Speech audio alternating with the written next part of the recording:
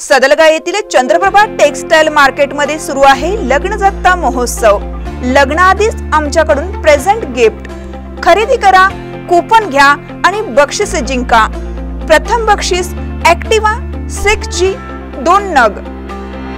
यासह fridge L E D TV Android mobile smart watch trolley bag यासह असंख्य बक्षिसे.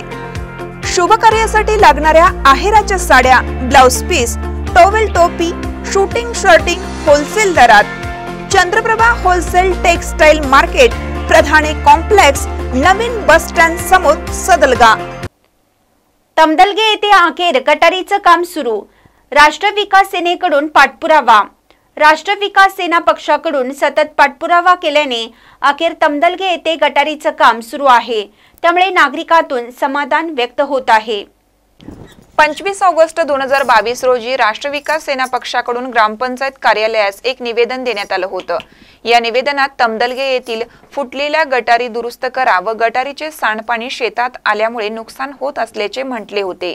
याबाबत सरपंचांनी येत्या पंधरा ते वीस दिवसात काम पूर्ण करू असं आश्वासन देण्यात आलं होतं.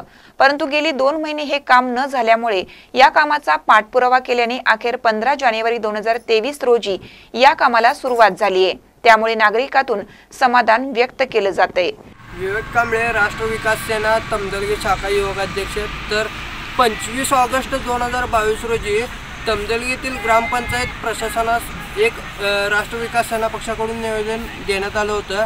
त्या निवेदनाचा विषय असा होता की ग्रामपं त ग्रामपंचायत तमदलगेतील प्रशासनास एक निवेदन देण्यात आलं होतं आणि त्या निवेदनाचा विषय असा होता की तमदलगेतील फुटलेल्या गटारी दुरुस्त करा आणि शेतातील शेतातील पाणी त्या गटरींचे पाणी येऊन त्या शेती पिकांचे नुकसान होत आहे याबाबत हे निवेदन देण्यात आलं होतं आणि या या यावेळी निवेदन देत असताना ग्रामपंचायत सरपंच यांनी आम्हाला एक आश्वासन दिलं होते की येत्या पंधरा ते वीस दिवसात आम्ही तुमचं काम पूर्ण करू आणि त्या त्यांचे आश्वासन हे काय आश्वासन दिलं देण्यात आलं होतं आणि ते त्या आश्वासनाला काही मान्यता मिळाली नाही.